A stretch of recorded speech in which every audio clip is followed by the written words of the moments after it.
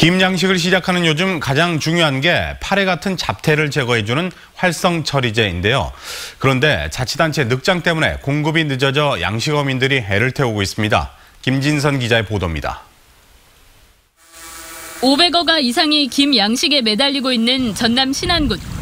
40m 길이의 김발을 한 택씩 나눠 다시 바다로 내보내는 작업이 한창입니다. 지난달 체묘를 마쳤지만 군에서 약속한 김 활성 처리제가 지금껏 보급되지 않고 있습니다. 일단 지난해 남은 분량으로 급한 불은 껐지만 어민들은 당혹해하고 있습니다. 작년 같은 경우 생길 값이 늦어버릴게. 때 맞춰서 온다는 보장이 없기 때문에 어디서 잘못된가 모르지 우리 어민들은. 체묘 시기가 비슷한 무안군은 지난 2일 이미 보급을 마쳤지만 신안군은 여전히 감감무소식입니다.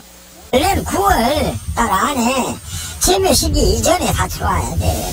없으면 영상을 쓰게 되면 영상 치다가 걸리면은 그건 범법자가 되는 거지. 지난해 어민들이 신청한 물량도 업체 간 분쟁으로 올해 1월에서야 어민들에게 전달했던 신안군. 올해는 아직까지 공급업체 선정도 못해 이달 안에 지원이 가능한지도 미지수입니다. 조직 개편으로 담당자들이 바뀌면서 업무가 늦어졌다는 게 이유입니다. 담당자가 바뀌다, 바뀌고 전체적으로 다 이제 이렇게 바뀌다 보니까는 우리가 파, 파악을 못했습니다. 약간 좀 늦은 경우가 있었습니다. 인근 해남군도 인사이동을 이유로 목포시도 예산 편성이 늦었다는 이유로 활성 처리제 지원이 지연되고 있습니다.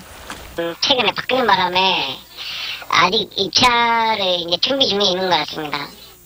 좀 빨리 해달라 하긴 하는데 뭐 예산 때문에 어쩔 수 없이 늦어진 부분이 있어서 이거 전국 김 생산 면적의 90%를 차지하는 전남.